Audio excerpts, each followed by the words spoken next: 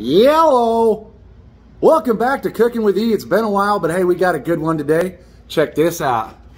We're gonna be making some bacon wrap stuffed jalapeno poppers with cream cheese and a brat that we had last night. Don't you go nowhere. You ain't gonna wanna miss it.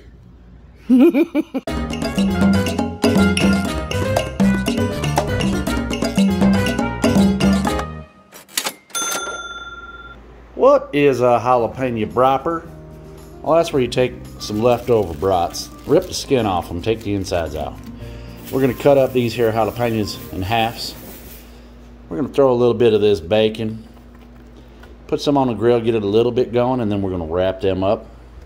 But before we do that, we're going to drop a little cream cheese inside that there jalapeno. Put this in there, wrap it with this, and we're going to try it and see what it is.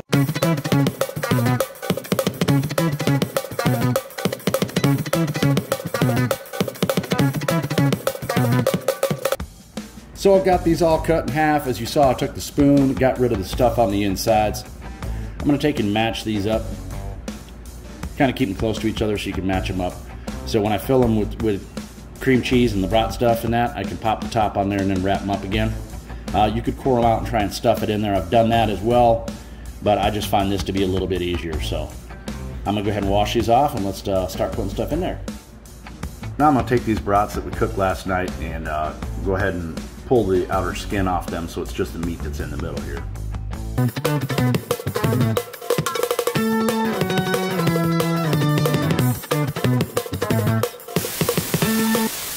As you can see here, I made it like a ground beef consistency.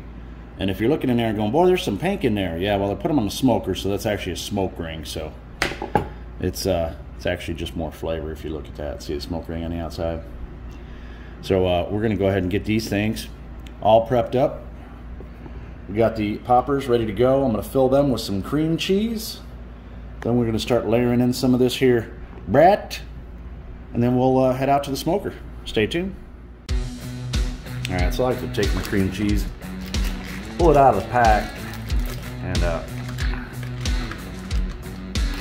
I heat it up for a second. And then I take my spoon and just kind of mix it around so it gets out of its shape so it's easier to spread. So I'm gonna smash this down for a second here, pop her in the microwave, and then we'll uh, start stuffing these things.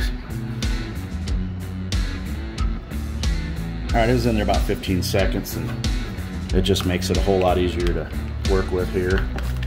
I just kind of smash it around, play with this until it gets a little thinner. You could also cut it with uh, a little bit of ranch.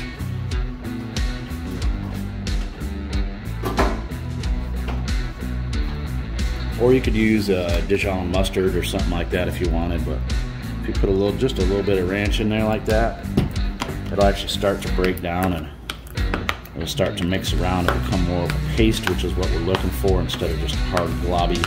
Nobody wants to eat a big old chunk of sour cream. At least I don't like it. I like a little bit of flavor, little taste of that there jalapeno, some of our brat. So I'm gonna finish mixing this up. I'll show you what it is before I go ahead and put it in.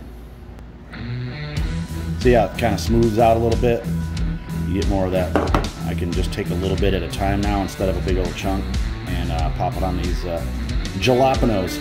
Let's rock it.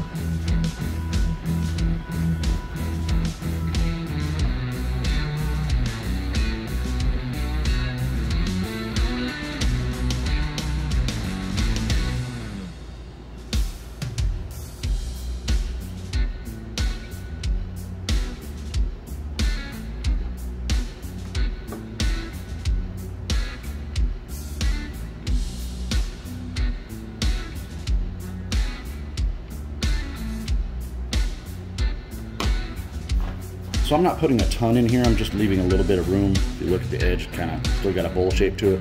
Leave a little bit of room for your brat.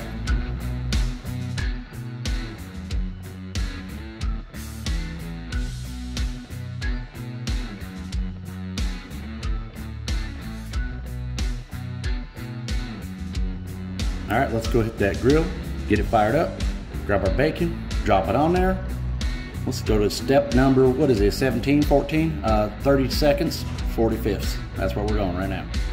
As you can see, we got the grill fired up on smoke. I'm gonna pop this thing to about uh, 350 and get this thing heated up. And then we will go ahead and grab our bacon, set it on there. I got to cut it in half or a couple pieces in half because I have 20 of those and 13 of them. So, yep, we don't have enough. So I'm to have to cut some in half and we'll wrap them.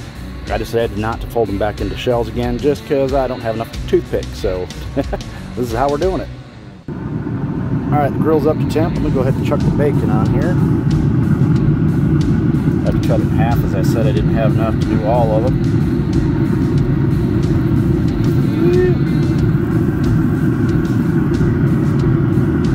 You don't want to cook it all the way through. Just want to cook it a little bit on one side so you can still wrap it. Cook it and it's too hard, it won't wrap around the jalapeno. So I'm to go ahead and get the rest of these on. Alright, so as you can see, it, started to uh, dehogify, meaning it's got a little bit of resistance to it. Yes, I made up that word, but see I just started to get some grill mark on it, and it's not quite stiff yet, but it's it's definitely easier to work with than floppy, floppy, uncooked bacon. So we're gonna go with that, wrap it around. What the, the point of that is, and I've done it before, but the point of that is, you already started the cooking process on this side. So when I wrap it around there, it cooks on there, you're not going to have that chewy piece of bacon around your jalapeno because nobody likes that. Make it crispy. All right, so I got them all on, got them wrapped in bacon. All I did is put the bacon in the middle, wrap one end under, one end under, and then set it on the grill. So that's what we got. Now this one here, my bacon was too short, so I just said screw it and laid it on there like a blanket. So that's what he's getting. Probably one of the best tips I have for you guys is uh, make sure you make some side bacon. Because all that cooking makes you hungry, man. Mmm. Mmm. May always make extra bacon. It's been about 10 minutes or so, 15. Oh, look at that. Oh, can you smell that? Oh, man. All right, let's get these off here. I gotta try one. My mouth's watering. Got them off there.